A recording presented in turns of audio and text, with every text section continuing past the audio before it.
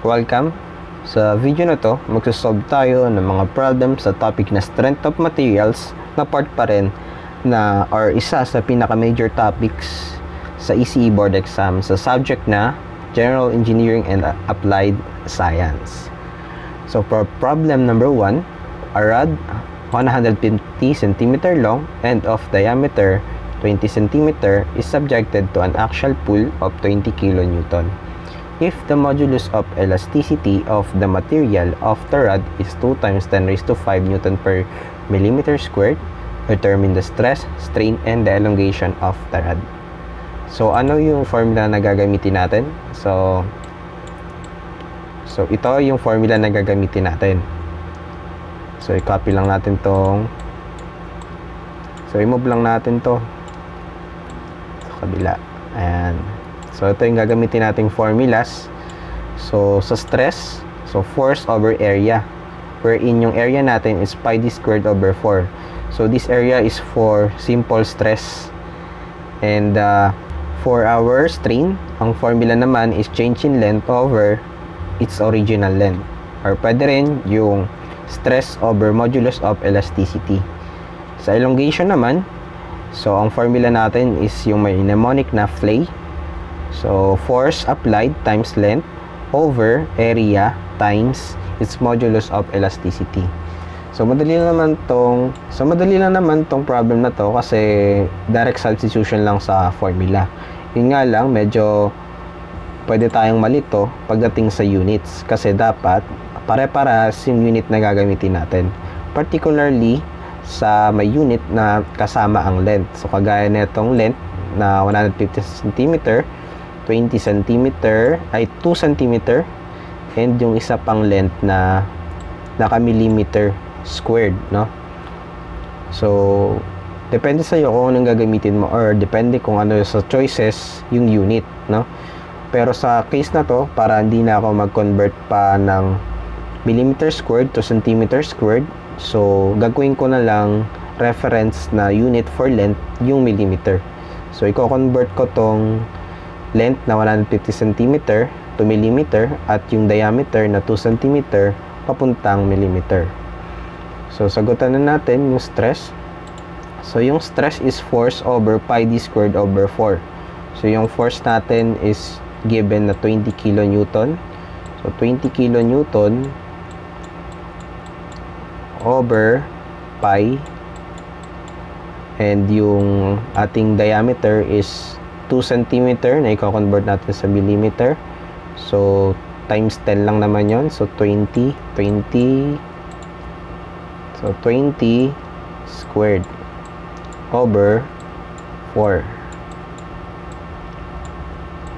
So, type lang natin sa calculator. So, type lang natin. 20 kilonewton over pi pi 20 squared over 4.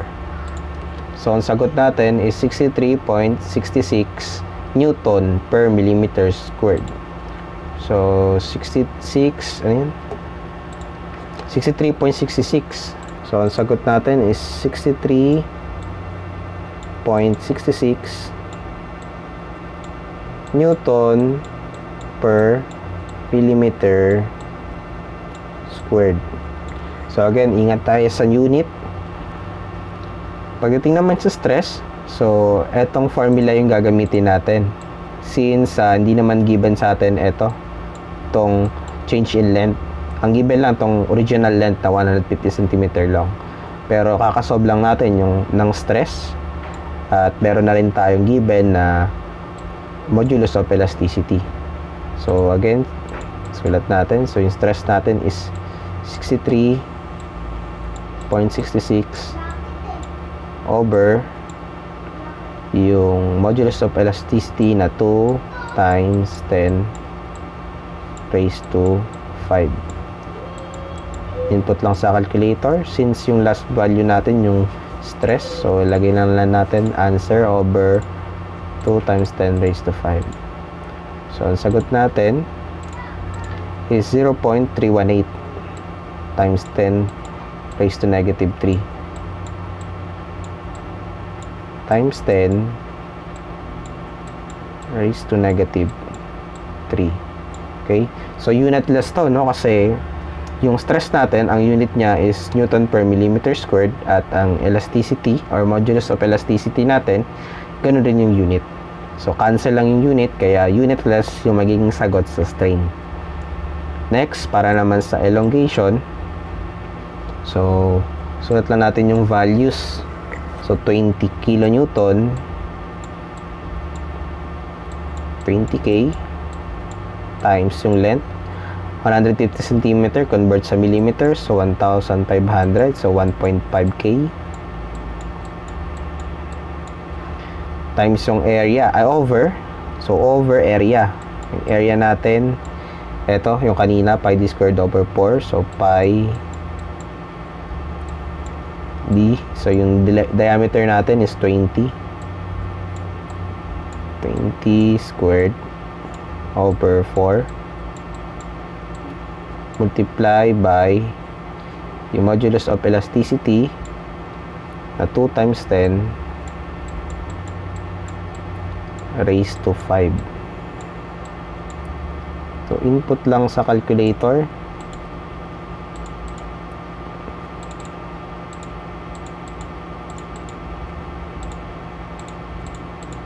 1.5 times 10 raised to 3 over pi 20 squared over 4 multiplied by 2 times 10 raised to 5 so ang sagot natin is 0.477 millimeter So, 0.477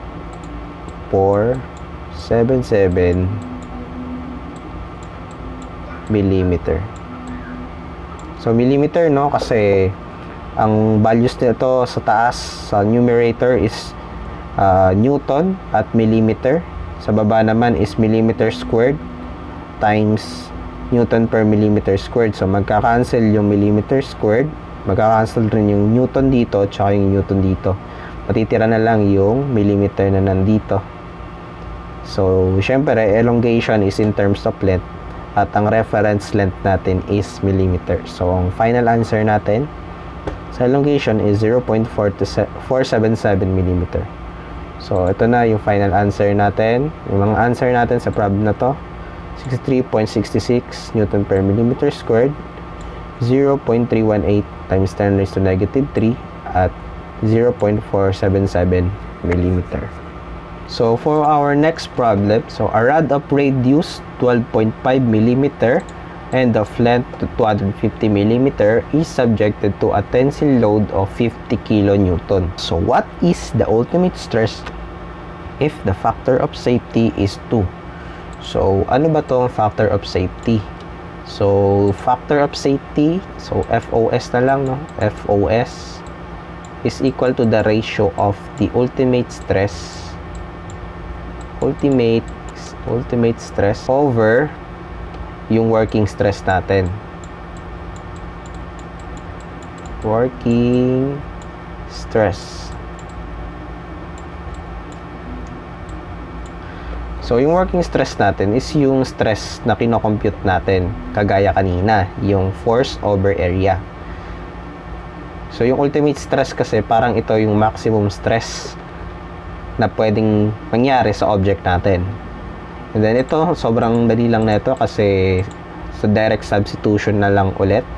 Makukuha, ang pinapahanap kasi sa atin is yung ultimate stress. Pero yung FOS or factor of safety given na rin, yung working stress, kaya nating isolve yan gamit yung yung given na nasa problem. So, ayan. Lagyan lang natin. So, continue natin. Yung FOS natin daw is 2 over so, lagyan na natin US, no? So, yung working stress natin is force over area. So, yung force natin is 50 kilonewton.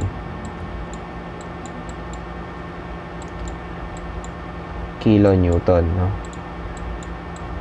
over pi d squared over 4, no? So, pi, yung diameter natin is hindi given, pero given yung radius. So, times 2 lang naman yun. So, again, ang reference unit natin dito is millimeter. So, expect natin na ang sagot na makukuha natin sa ultimate stress is Newton over millimeter squared. So, again, yung diameter natin, so, times to lang ng radius. So, yung radius natin is 12.5. So, 2 times 12.5. So, naka-millimeter na yan over 4. So, again, squared to, no? So, squared yan. So, ilagay lang natin sa calculator. Kayang-kaya na ma-solve ni calculator yan. So, 2 is equal to x. Yung hinahanap natin, yung ultimate stress. And then, type natin yung sa working stress na 50 kilonewton over pi 2 times 12.5 okay wait lang 2 times 12.5 squared over 4. So, ship solve. So, ang sagot na makukuha natin sa ultimate stress is 203.72 103.72 ang unit niya is Newton per millimeter squared. Okay. So, ito na yung ating final answer. So, for our last problem, so a member formed by connecting a steel bar to an aluminum bar is shown in the figure. So, ang figure natin, ito. So, ito yung figure natin, no? So, meron daw tayong ganitong figure na naka, dalawang bar na magkapatong sa isa't isa. So, assuming that the bars are prevented from backing sideways, calculate the magnitude of force P that will cause the total length of the member to decrease 0.25 mm. The values of elastic modulus for steel and aluminum are 2.1 times 10 raised to 5 Newton per millimeter squared and 7 times 10 raised to 4 Newton per millimeter squared respectively. So, ang pinapahanap sa atin is yung P na to. So, ito yung force daw na nag-act sa dalawang magkapatong na steel bar. So, given din sa atin yung length each bars. So, dalawa kasing magkaibang bar to, no? Dalawang different type of uh, metal. So, steel and aluminum. Then, ito, tong dimension na to, ito yung dimension ng steel bar. So, pag minultiply natin yan, ito na yung area 1. So, 5 cm by 5 cm. Ito, na, ito rin 10 cm by 10 cm. Ito na yung area 2. And then, ito, length 1. At ito rin yung length 2. So, bali dalawang different objects to. And aalamin natin yung force na nag-act sa kanila. Then, may given din tayo na 0.25 mm. So, ito yung change in length. So, ito yung total change in length, yung 0.25 mm. So, anong formula yung gagamitin natin? So, ang formula dyan is yung DL over force times yung length 1 over area 1 times elasticity 1 plus L2 over A2 times E2 so ito yung formula na gagamitin natin. So magkakaiba kasi yung length nila magkaiba rin yung area nila at saka yung modulus of elasticity nila pero parehas lang yung force na nag-act sa kanilang dalawa yung DL na sinasabi, sinasabi ko kanina, etong 0.25 mm. So, ito yon So, meron na tayong DL, meron na tayong length 1, area 1, yung uh, modulus of elastic na mod elastic modulus ng steel. Meron na rin tayong length 2, meron tayong area 2, at meron na rin tayong elastic modulus of aluminum. So, ship solve na lang ulit yan. So, i-retype natin yung ating mga values. So, 0.25. Again, yung reference unit natin for length is millimeter. So, 0.25. So, 0.25 millimeter equal to force over times. So, length 1 natin. So, alin na yun? So, ito yung length 1 natin, naka-centimeter. So, convert natin yan sa millimeter. So, isa naman, 38 cm, ko-convert rin natin yan sa millimeter. So, times 10 lang naman. So, yung length natin is 30 times 10. So, 300 300 millimeter over yung area. So, hindi na natin gagamitin yung pi d squared over 4, no? Kasi, given na dito yung dimension. Yun nga lang, naka-centimeter. So, i-convert natin yung ating area 2 mm. So, 5 cm, that's 50 mm times 50 mm. So, 50 times 50 lang yan. 50 times 50 times yung area, yung elasticity 1 na 2.1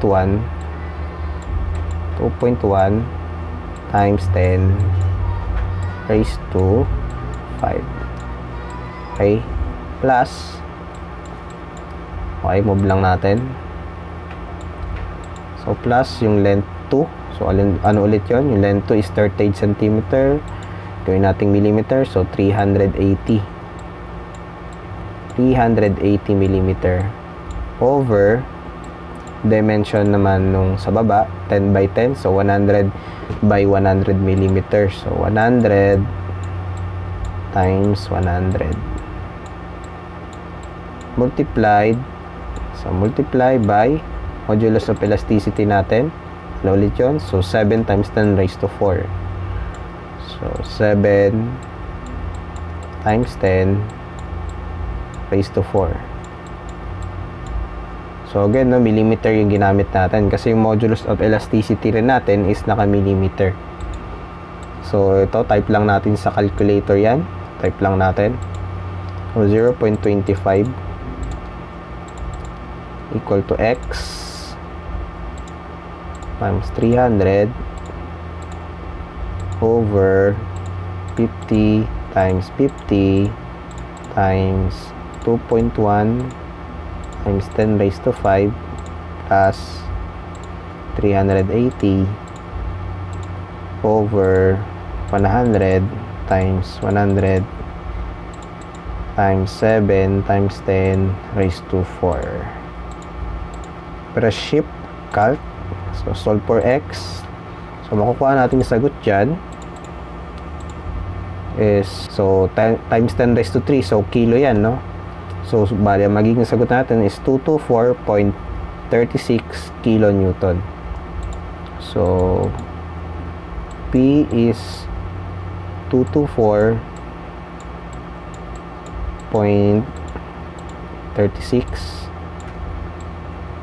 kilo newton.